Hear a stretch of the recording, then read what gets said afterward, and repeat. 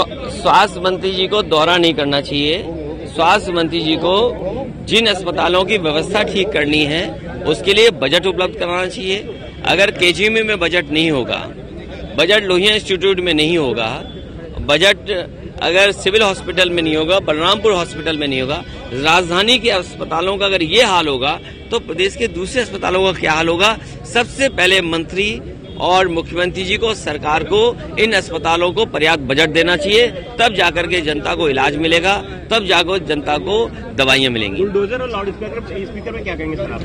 देखिए बुलडोजर तो केवल डराने के लिए चला रहे हैं। पहले भी हम लोगों ने कहा कि संविधान नियमों को कानून को सरकार नहीं मानती है। और ये बात साबित हो गई बुलडोजर चला करके कि ये सरकार न कानून को मानेगी न नियमों को मानेगी न कोर्ट के किसी आदेश को मानेगी।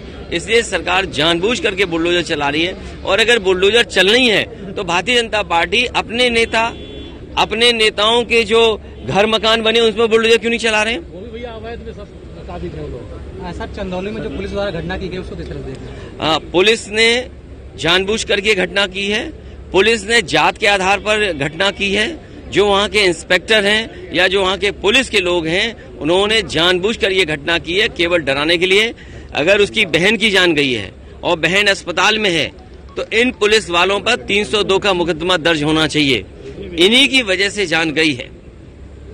सर लाउड स्पीकर में क्या कहेंगे? जो लाउड स्पीकर क्या गिनना? ये तो कह रहे थे कि हम केवल मुसलमानों के लाउड स्पीकर हटाएँगे। इन्होंने तो अपने लाउड स्पीकर भी हटा दिए। ये तो मुख्यमंत्री और सरकार अपने आप को हिंदूवादी बोलती है। तो आखिरकार इन्होंने मंदिरों के भी लाउड स्पीकर हटा दिए। अब ये क्या कहना चाहते हैं? चुनाव भर तो कहते रहे कि हम मुसलमानों को बुलडोजर वो घर गिराएँगे या लाउड स्पीकर हटाएँगे। तो ये जाति और धर्म के हिसाब से भेदभाव करते हैं। ये लाउड स्पीकर हटाने वाली सरकार ये बताए कि नौजवानों को नौकरी और रोज़गार कब देगी?